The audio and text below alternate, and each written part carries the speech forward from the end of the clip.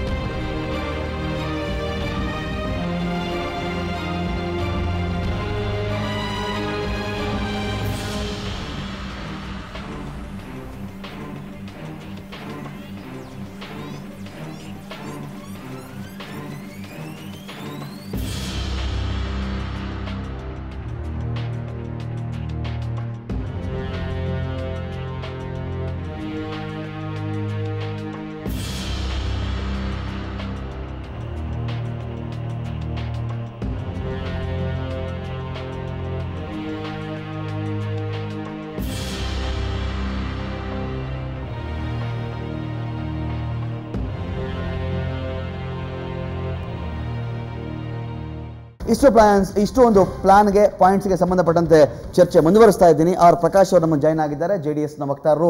ಸ್ವಾಗತ ನಿಮಗೆ ಆರ್ ಪ್ರಕಾಶ್ ಅವರೇ. ಇಷ್ಟು ಪ್ಲಾನ್ ನೋಡ್ತಾ ಇದ್ದೀವಿ ಪ್ರಕಾಶ್ ಅವರೇ.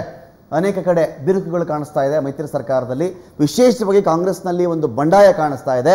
ಎಲ್ಲಕ್ಕೆ ಕಾರಣ ಕುಮಾರಸ್ವಾಮಿ ಅವರ ವೇಗ. ನನ್ನ ಮಾತು ಕೇಳ್ತಾ ಇಲ್ಲ, ನಮ್ಮನ್ನು ಕನ್ಸಿಡರೇ ಮಾಡ್ತಾ ಇಲ್ಲ. ಡಿ ಕೆ ಶಿವಕುಮಾರರು ಅಡ್ಜಸ್ಟ್ ಮಾಡ್ಕೊಂಡಿದ್ದಾರೆ ಅವರು ಪರಮೇಶ್ವರ್ ಅವ್ರನ್ನು ಅಡ್ಜಸ್ಟ್ ಮಾಡ್ಕೊಂಡಿದ್ದಾರೆ. ಯಾರು ನಾವು ಬೇಕಾಗೇ ಇಲ್ವಾ ಅನ್ನೋ ಅಸಮಾಧಾನದ ಹಿನ್ನೆಲೆಯಲ್ಲಿ ಸಿದ್ದರಾಮಯ್ಯವರು ಈ ಪ್ಲಾನ್ ಮಾಡಿದ್ದಾರೆ ಅಂತ. ನೋಡಿ, ರಾಜಕಾರಣವನ್ನು ಯಾವ ರೀತಿ ಬೇಕಾದ್ರೂ ವಿಶ್ಲೇಷಣೆ ಮಾಡ್ಬೋದು.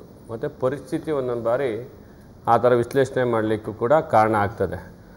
ಪರಮೇಶ್ವರ್ ಅವರು ಮತ್ತು ಡಿ ಕೆ ಶಿವಕುಮಾರ್ ಅವರು ಕೂಡ ಕಾಂಗ್ರೆಸ್ ಪಕ್ಷದ ಆ, ಪರಮೇಶ್ವರ್ ಅವರು ಉಪಮುಖ್ಯಮಂತ್ರಿ ಆಗಿರ್ತಕ್ಕಂಥವ್ರು ಕಾಂಗ್ರೆಸ್ ಪಕ್ಷವನ್ನು ಪ್ರತಿನಿಧಿಸ್ತಕ್ಕಂಥವ್ರು ಡಿ ಕೆ ಶಿವಕುಮಾರ್ ಅವರು ಒಬ್ಬ ಪ್ರಭಾವಿಶಾಲಿ ಮಂತ್ರಿ ಆಗಿರ್ತಕ್ಕಂಥ ನಾವು ಏನು ಕಂಪ್ಲೇಂಟ್ ಹೇಳಿದ್ರು ನಡೆಯಲ್ಲ ಅವ್ರ ಬಳಿಯಲ್ಲಿ. ಅನುಸರಿಸ್ಕೊಂಡು ಹೋಗಿ ಅಂತ ಮಾತನಾಡ್ಬಿಡ್ತಾರೆ ಪರಮೇಶ್ವರ್ ಅವರು ಡಿ ಕೆ ಶಿವಕುಮಾರ್ ಅವರು.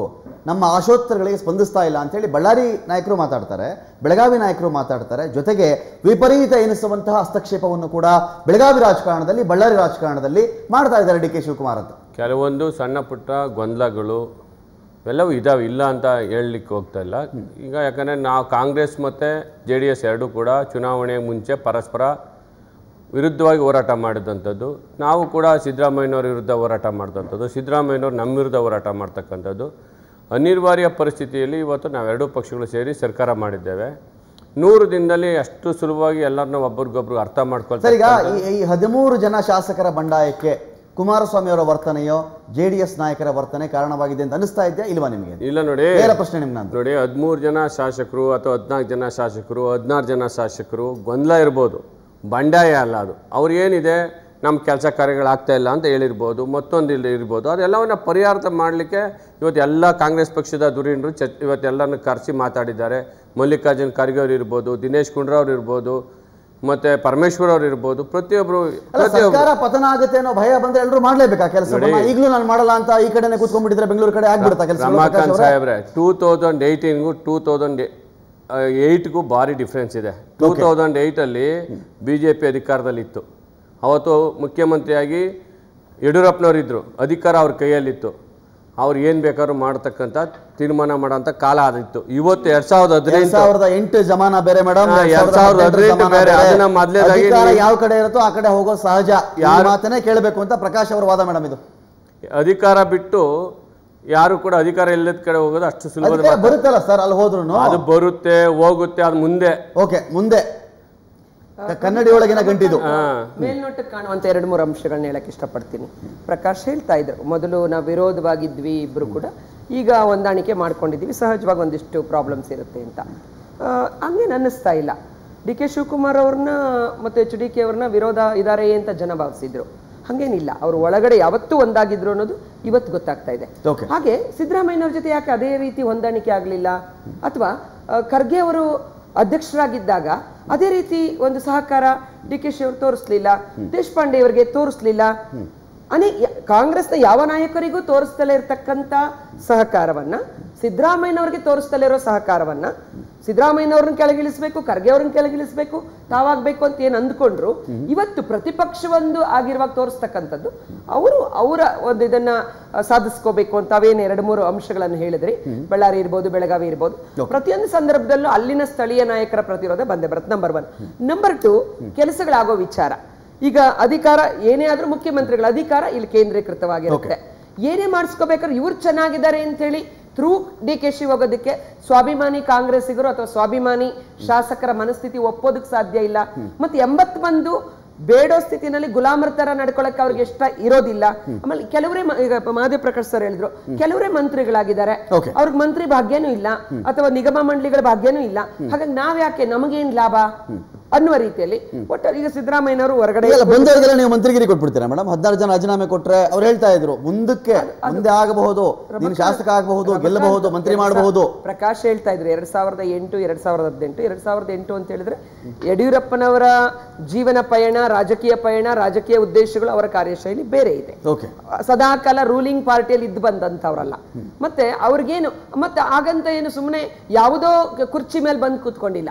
ಅವ್ರು ಏನ್ ಇವತ್ತು ಸಾಧನೆ ಮಾಡಿದ್ದಾರೆ? ಅವ್ರಿಗೆ ಸಾಧನೆ ಇದೆ ಎಲೆಕ್ಟ್ರೋಲ್ ಸಾಧನೆ ಇದೆ ಮತ್ತು ನ್ಯಾಷನಲ್ ಪಾರ್ಟಿಯನ್ನ ಮುನ್ನಡೆಸಿದ್ದಾರೆ ರಾಜ್ಯದಲ್ಲಿ ಕಷ್ಟಪಟ್ಟಿದ್ದಾರೆ. ಅವರದೇ ಅವ್ರದ್ದೇ ಆದಂತ ಒಂದು ವರ್ಚಸ್ಸು ಗೌರವ ಇದೆ.